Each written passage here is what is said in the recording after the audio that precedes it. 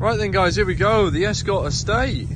Uh, now I haven't seen too many of these to be fair, you don't really see them anymore, do you? Uh, bit of a project as you can see, just landed with us for our next sale. Uh, Jack's just to go, about to go around it and take some photographs for you, which I'm sure you've probably already seen by the time you're watching this video. A couple of numbers there for you. Um, but overall, a worthwhile looking project. Um, looks pretty good in all fairness. Just been going around it quickly, just had a quick walk round, and uh, certainly got the makings of a uh, of a decent motor.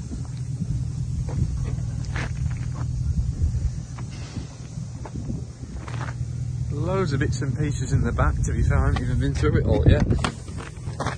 But um, obviously, it's one you're going to have to come down and have a look at, see if it's one for you.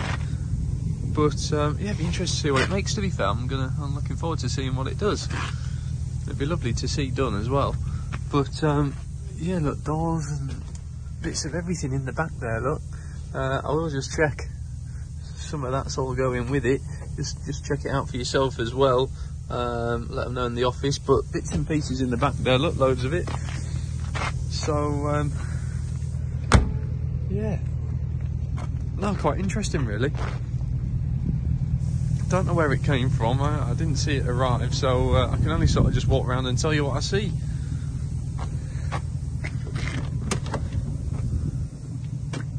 But yeah, there you go. Does it run? We had it going. 89143 on there. My battery's flat anyway. We'll um, just put a jump pack on it shortly. Just give the office a ring and, and ask for me and I can let you know what. Uh... Jack, have we had this running? Not yet.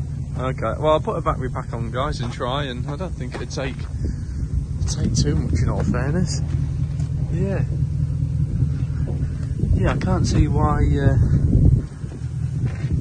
why it shouldn't. But um, anyhow, we will have a look with a uh, yeah, maybe some fresh plugs and some fresh fuel. I don't think it'd take too much to get going. But anyway, you better come down and check it out for yourself. We'll uh, I'll give it a go shortly. Put the battery pack on there and see what we've got. But no, please do nip down and have a look, guys. And uh, I think it's a worthwhile project for somebody. So there you go. Give the girls a ring in reception. They'll let you know paperwork wise what we've got for it as well. Or better still, when you're down, you can pop in and have a look, can't you? So there you go. Escort Estate.